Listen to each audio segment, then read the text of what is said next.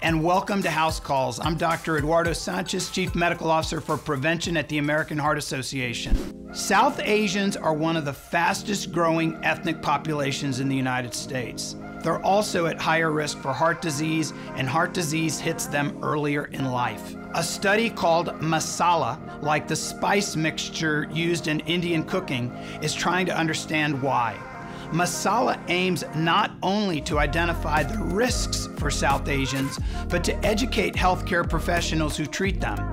The study has found that South Asian people have a high prevalence of diabetes, prediabetes, and high blood pressure store fat differently, and that fat gets concentrated on the liver and around abdominal organs. And they show higher levels of LP little a cholesterol, a kind of LDL or bad cholesterol.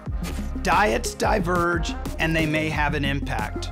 Vegetarianism is common in India and it's often considered healthy. But Masala found three distinct eating patterns among South Asians in the United States vegetarian diets that are high in dairy products and saturated fats and low in fresh fruits and vegetables, a healthier vegetarian eating pattern that includes more fresh vegetables and fruits, and a more Western diet that features meat, alcohol, and coffee.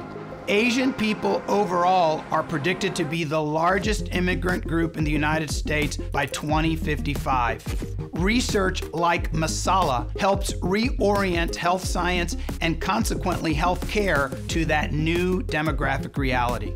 If you have questions about health conditions, I would love to hear from you.